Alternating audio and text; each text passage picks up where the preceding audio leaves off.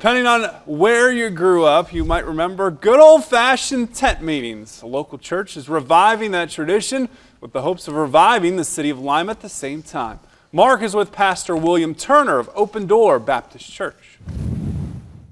We're at Open Door Church here in Lima, joined now by Pastor William Turner, and you've got an exciting event coming up in just a few weeks. Yes, we have a 10 day tent revival starting June 20th through 29th.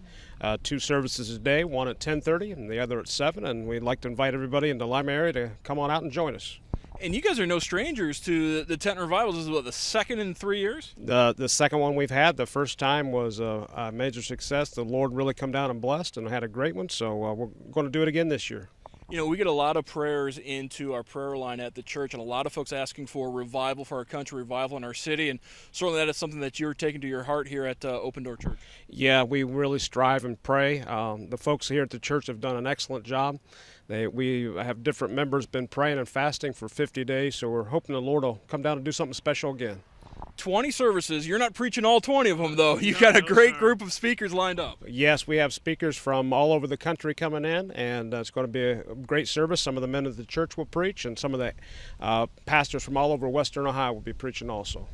What uh, What are you guys trying to accomplish with this? We're just trying to uh, do the Lord's work in a, in a great way, going back, throwing back uh, Billy Sunday, the great evangelist of yesteryear, was in Lima in 1911, and he put up a tabernacle on South Pierce Street. So, just trying to uh, walk on the old paths, just show people what uh, what how it used to be.